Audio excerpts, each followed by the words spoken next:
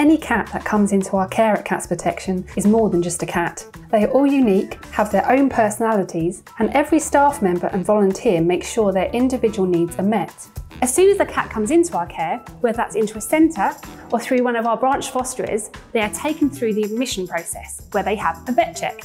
One of the most important things we try and ascertain as soon as possible is whether they have any health conditions, not only because we will try and treat these as soon as possible, but also because it is important for any potential adopter to know how to provide the best care for their new feline family member. Our vets give each cat a full body exam that includes a check of the eyes, ears, mouth, heart and abdomen. Based on the findings of the exam and any history we may have from a previous owner, the vet might do further tests for conditions such as diabetes, an overactive thyroid or feline immunodeficiency virus, as discovery of FIV will determine whether they can be home with other cats or not.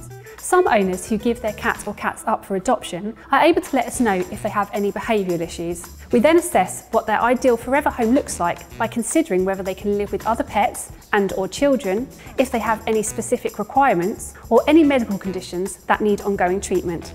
Everything we do and every home comfort we provide at Cats Protection is with the intention of making our cats as relaxed and happy as possible. All our cats are provided with enrichment feeders to prevent boredom, toys to play with and grooming. One thing we like to do is cater to any quirky personality traits that our cats have. For example, Pusscat here is a bit of an escape artist. So he has this written on his pen so staff and volunteers are aware when feeding or cleaning.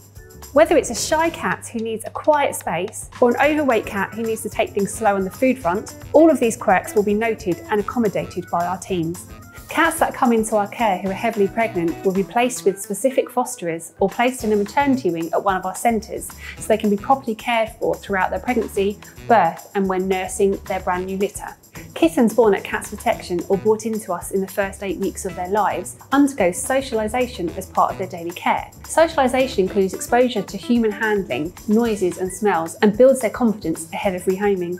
At all times, we strive to meet the five main welfare needs of cats a place to live, understanding of their natural behaviour, the right diet, the right healthcare, and their own space.